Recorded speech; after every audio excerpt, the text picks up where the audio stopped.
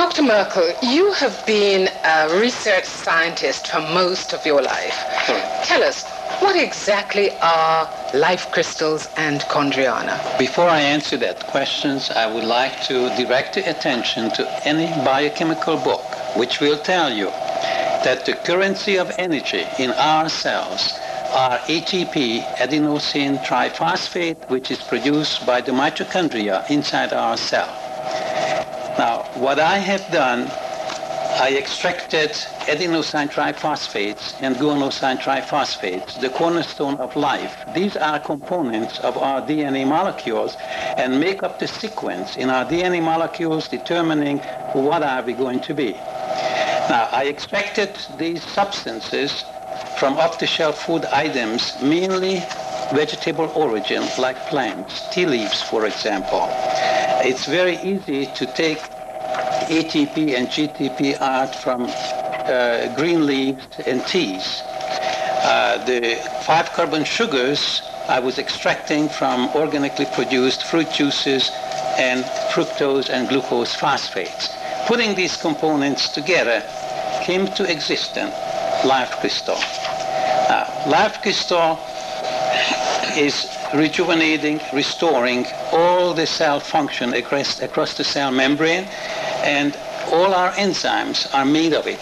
So when life crystal is given intravenously, it will clean out the blood vessel from cholesterols and sugar deposits because life crystal will depolarize the water and the water will lose its affinity to hydrophilic molecules and picking up affinity to hydrophobic ones. That means, in plain language, it will dissolve fats, cholesterols, waxes, and clean out the blood vessels, therefore reestablishing circulation, respiration, nutrient flow, and the cell comes back to life and rejuvenates.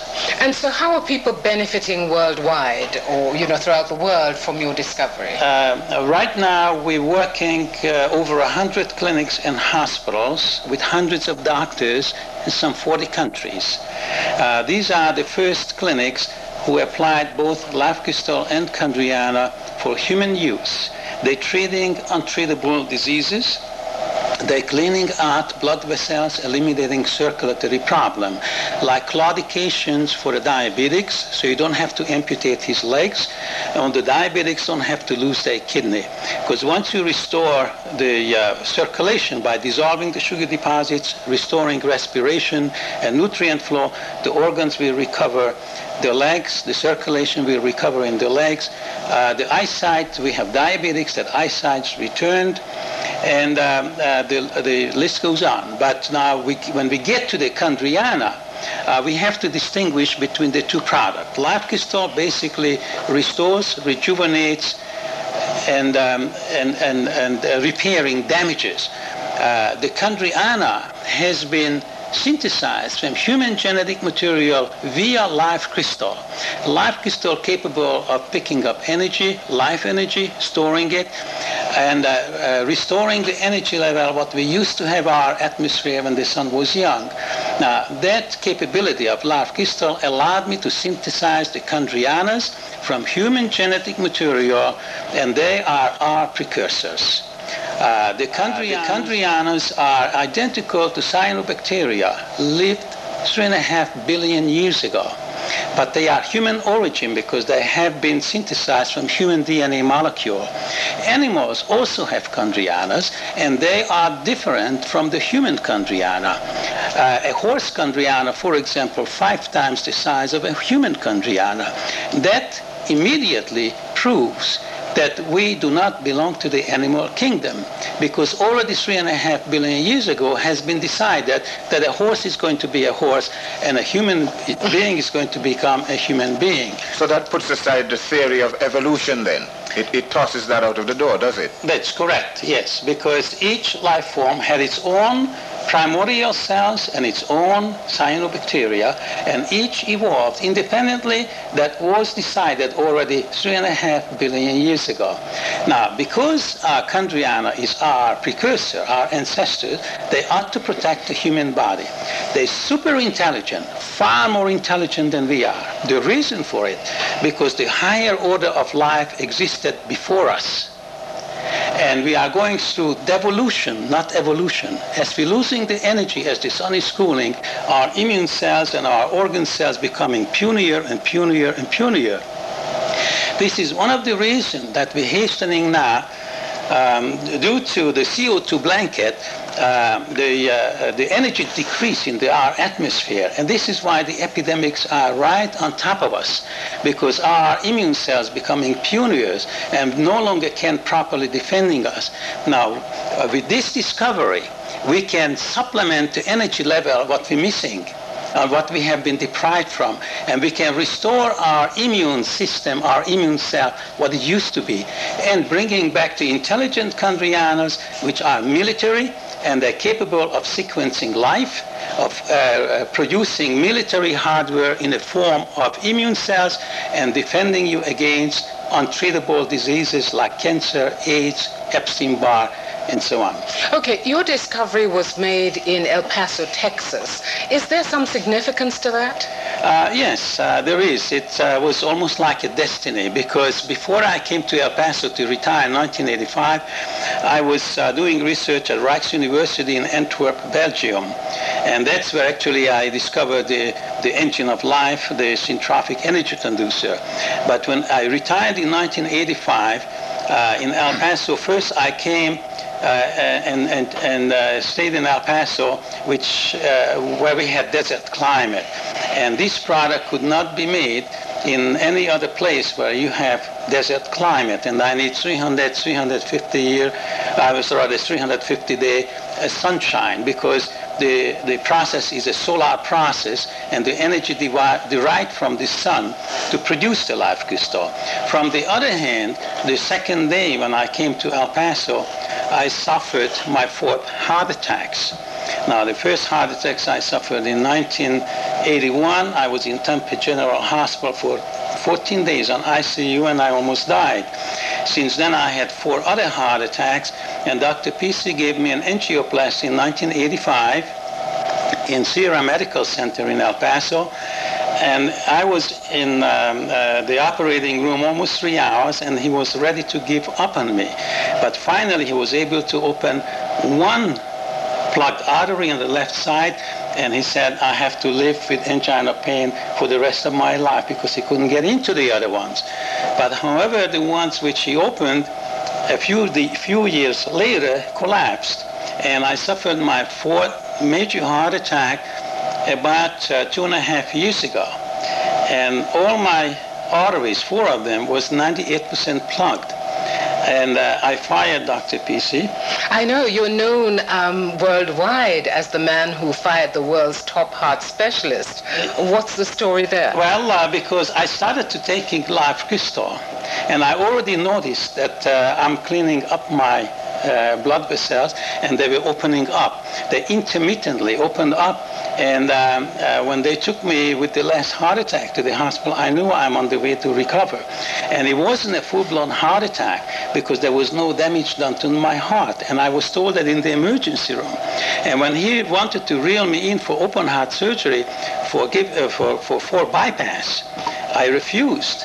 And I fired him. And then he said, uh, uh, the, the other doctor said, I will never make it home. I will die on the way home. They kept me in the hospital for three weeks, and I had to sign all kind of papers before they released me. And here I am today with clean arteries and a new heart due to life crystals. Wonderful. Well, we are going to discuss that more as the program progresses. But let me ask you now, Dr. Mula, you are a general practitioner and you're also the physician for the Life Crystals and Chondriana project in Antigua. Um, tell me, wh- how did you get involved in the Life Crystals and Chondriana project?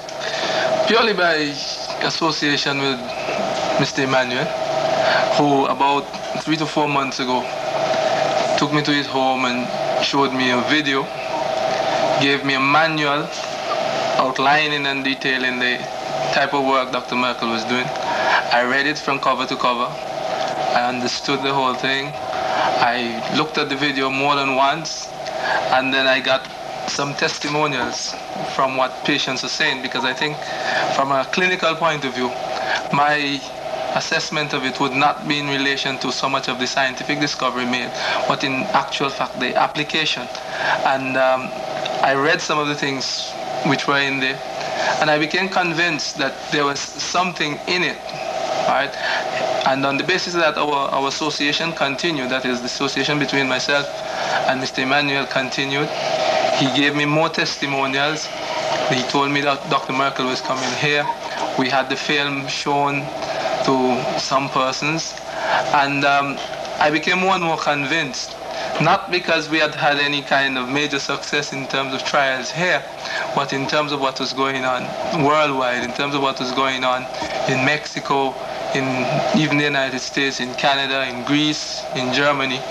I mean, those were sufficient proof for, for one to look at it and, and, look at it seriously. Yeah, well, we do want to hear more about those testimonials um, later on, and um, perhaps Peter could read them for us. But um, your assessment has been favorable, but tell me, have there been trials here in Antigua, and with what result? Yeah, well, um, the, in reading even the, the protocol for, for the study, it shows that um, one wouldn't get much results between, let's say, a 30, 90 day period and even beyond depending on the nature of the, the condition. We have had a number of persons who have had life who have had life crystals and a few who have had uh, chondriana who take the life crystal both as the elixir and as the the injectable and um, we are waiting the, the we are waiting the results in terms of the assessment that we could make based on those because we only just started probably a little over a month ago. Okay, well, let me ask you, Mr. Emanuel. Um, you are well known in Antigua as a holistic and skincare specialist, and here you are having been the initiator, and I take it you're also the, the director of Life Crystals, Inc. Um, how did you hear of Dr. Merkl? Well, uh, back in January of this year, I went to Philadelphia. I was called there by the Reviva company, which, you know, they, it was in the news, they made me the person here in the Caribbean for their cosmetic line. Uh, I went by a friend, and she was all riled up about my getting there, and she was all excited that this uh, Dr. Russell Brown was looking for me. So she called him. I said, do you have his number? She called him. He then came over, and the same Dr. Brown was a client, patient of mine since 1972 in Philadelphia. And he told me, man, we've been looking for you. Uh, I have this tape. You must see it. I want you to meet this man, Dr. Merkl, who is saving, you know, and giving life. Well, he really took it out, you know, and gave me the tape. I saw the tape. The first time I watched the tape, believe me, I was not as turned on. I said, wait a minute. The next morning he called me, he said, did you see the tape? I said, well, I fell asleep because I was tired. Watched the tape that morning before returning the tape, and my mouth flew open. I said, wait a minute, I am not seeing what I'm really, where I think I'm seeing it. Quite incredible. And I took it to someone who was a nurse, who was a nurse, and we watched it. And believe me, there's something else to see. When I saw that, I said, hey, I must get in touch with this man. So I called Dr. Brown and I told him I must get in touch with Dr. Merkl. He said, well, we've been trying to get in touch with you so that I can turn you on to this gentleman. So I called Dr. Merkl and back and forth we made correspondence and so forth. I then asked Dr. Merkl, my second trip back to Philadelphia, I told him I would come up if he didn't mind me coming out to El Paso and getting more involved with this thing. See what it's really, you know, get it from the horse then, from the horse's mouth, mouth, so to speak. And I went out to El Paso, and Dr. Merkl and I, he was very nice, very kind to us there. And the things that I saw and I heard was just too much for me. I said, I must bring it back here and share it with my people. And As exactly director of the, um, the, the, the Life Crystals project in Antigua, what are your plans for Life Crystals itself and Chondriana in Antigua? Okay. In Antigua, what we are doing, we have put a program together by way of the New Life Holistic Retreat Center where people, sick people, can come and be treated by Dr. Mullen and myself where we would clean up the deposit, clean up the disease, and people can go and live happily ever after, uh, so to speak.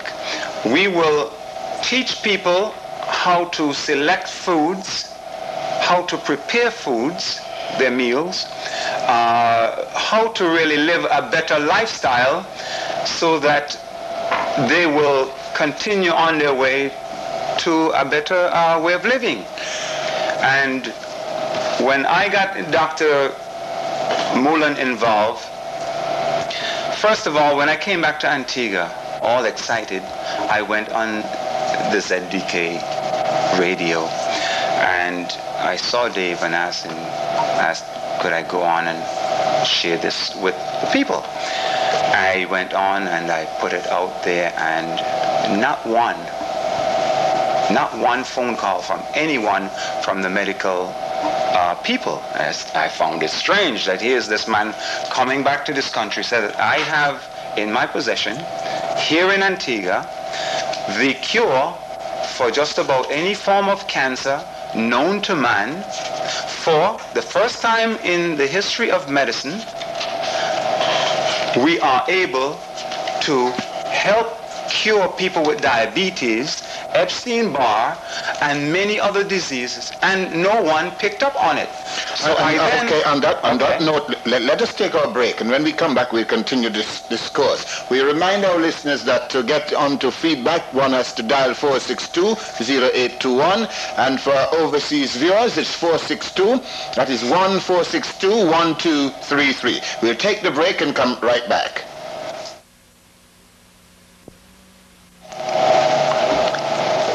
And we're back with feedback. And our discussion tonight is on the elixir of youth, the discovery of life crystals and chondriana. And we have with us the nuclear scientist himself, the renowned Dr. George Merkl. Um, Dr. Merkl, what, by bringing this industry or the, the life crystals and chondriana project to Antigua through um, Mr. Emanuel, what benefit will there be for Antigua?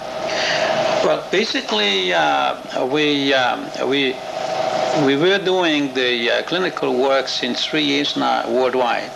And I really strongly feel that we have to set up bases, a few bases around the world where we can uh, produce this product in large quantities and distribute it in specific areas. But I would like to see in, in Antigua a production plant and packaging plant where we can distribute the product and make it available to all the Caribbean islands and also getting into South America. And that would bring in um, a sizable uh, industry and economy into this island. And this island is uh, uh, it's, it's strategically located and it's very favorable due to its climate and um, uh, uh, the circumstances that I would like to see that production taking place here. So everybody would benefit. So the primary interest is really of uh, bringing the industry in here and, and, and my way of distributing this uh, God-given gift to the world to place it in countries and, and make the countries responsible for the local production and distribution, make sure that it will be available at affordable price to everyone who needs it. Okay, let's go straight to the telephone line and welcome Bolens on to feedback. You're on, Bolens. Good evening, gentlemen. I'm very concerned, very, very concerned. Why, with such power in the hands of these gentlemen, no one thought it fit to approach the official Medical Association, Chief Medical Officer, the government of Antigua, before we come in and start taking Antiguans again for I consider another ride. Have we got this stamp of approval from the FDA? We need to answer, ask a, a, a lot more questions, please, before we start going talking about setting up industries and making money.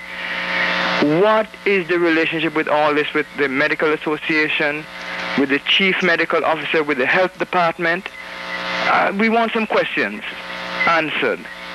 Thank you. Thank you for your contribution. Uh, Dr. Muller, let me take you first. Um, that is with the Medical Association here.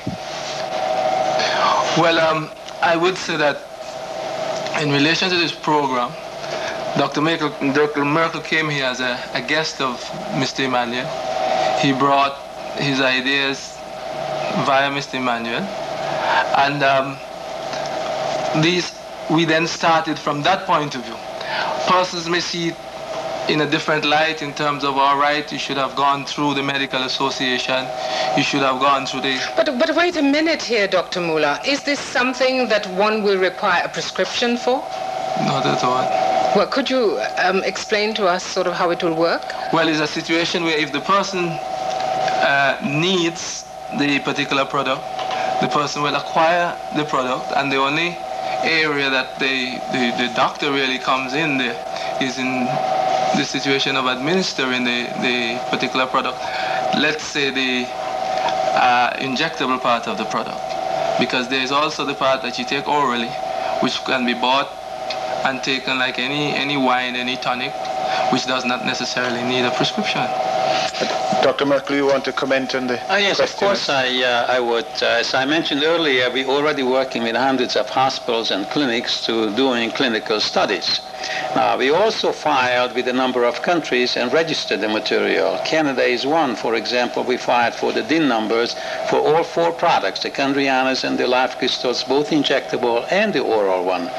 Now, uh, I have a manufacturing plant in the United States for the oral one where we don't put medical claim on it and we legally produce and distribute that and that is controlled by our federal government. The plant has been built to, to federal standard and controlled by the US FDA. Now, the adenosine and adenosine monophosphate already has been approved by the FDA a long time ago.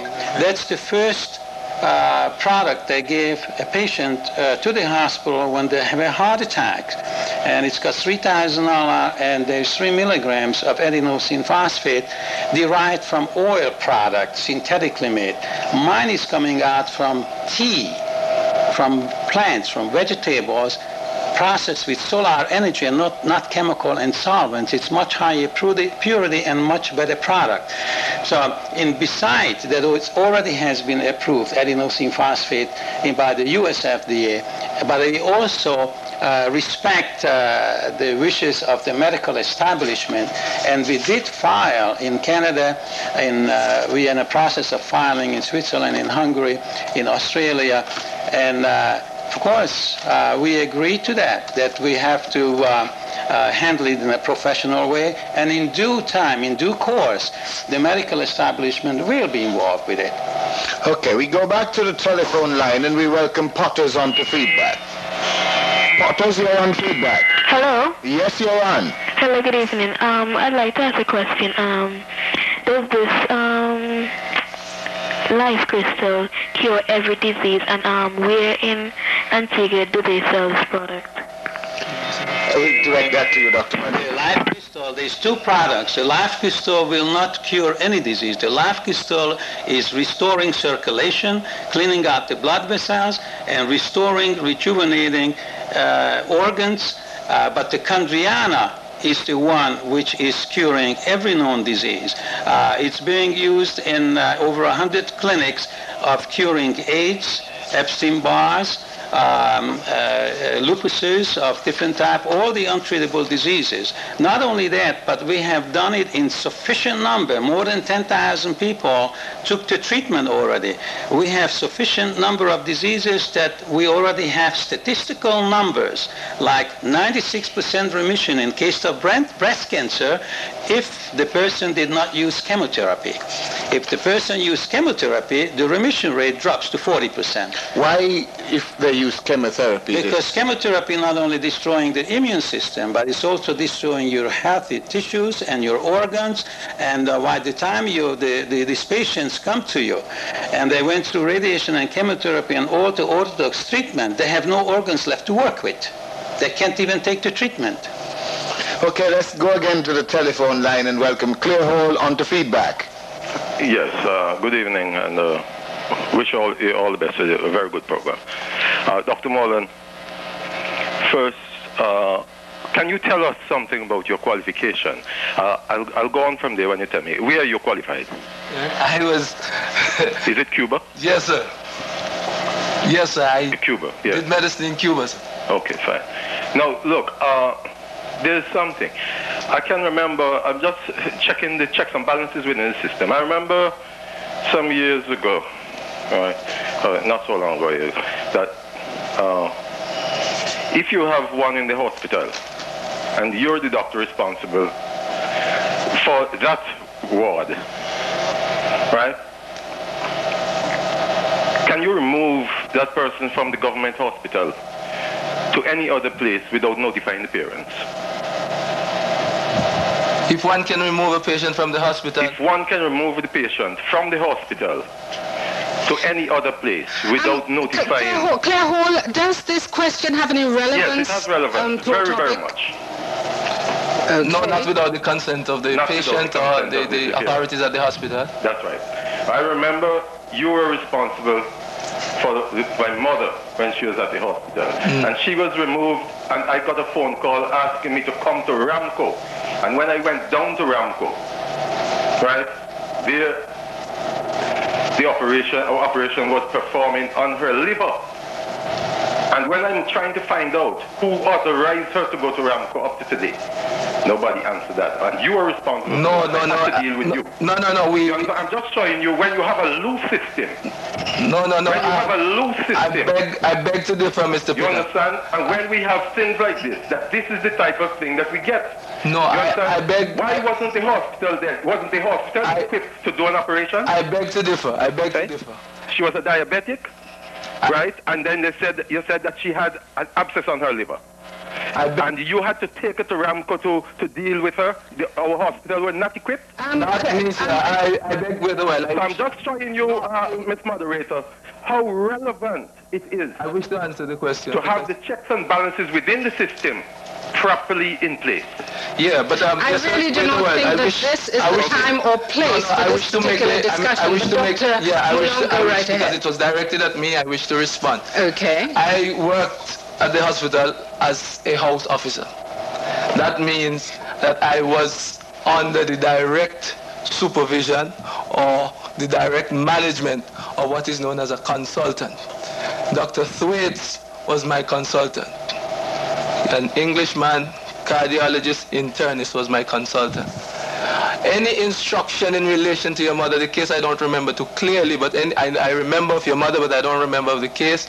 Any situation there in relation to draining any abscess or dealing with any abscess could not come from a petty officer in, term, in, the, in the health system. It would have to come directly from my supervisor.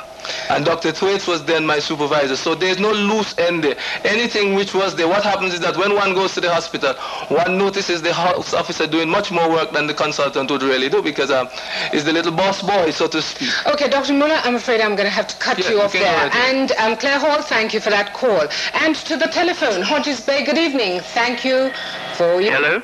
call. Yes. Hello? Yes, we can hear you. You can hear me? Yes, your question, please. Okay, there are a couple of questions. Um, this program is obviously quite earth shattering in that claims are being made that I think will startle any nation.